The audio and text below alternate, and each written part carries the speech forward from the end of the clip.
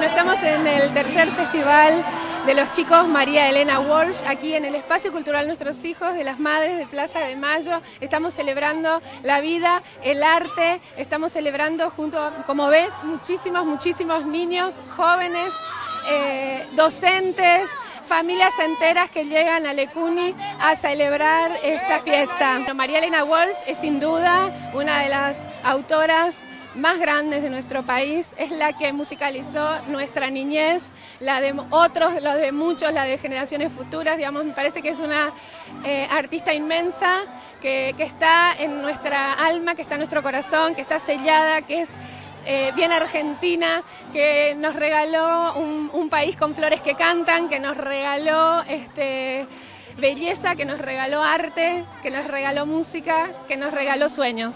Somos los Cazurros, otra vez. Ernesto. El mío es Pablo. Los dos juntos somos los Cazurros. Valga la redundancia. Y estamos por tercera vez consecutiva conduciendo el tercer festival de los chicos María Elena Walsh. Sí, exactamente. Es un orgullo que por tercera vez consecutiva nos hayan llamado.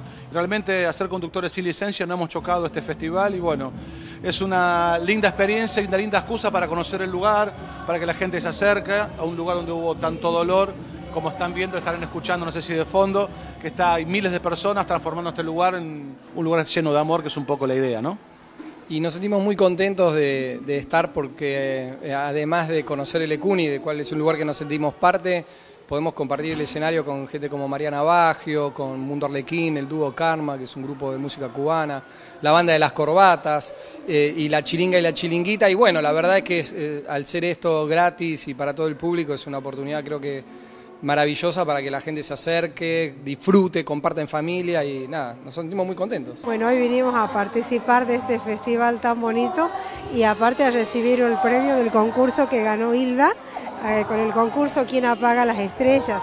Eh, nosotros venimos de la provincia de Salta, eh, del campo, de la zona rural, en pleno monte salteño.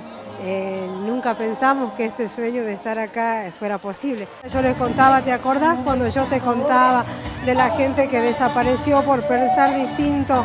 Bueno, algunos de esos retratos, todos esos retratos están ahí y ella los miraba le digo, sí, esa es la historia, a veces triste que no se tiene que volver a repetir como le contaba ella, pero este, de eso depende de todos nosotros. Ya la tercera vez que venimos, este, en particular esta vez también eh, los grupos que están son los que les gustan a ella porque siempre escuchamos en casa.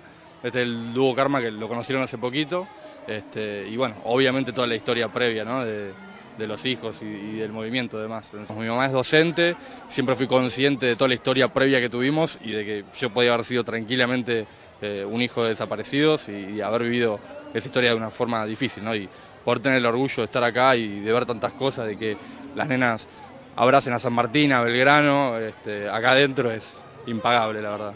A mí es muy fuerte traerlo a él, más traerlo a un lugar que ahora es, eh, que está con juegos, con chicos, con música.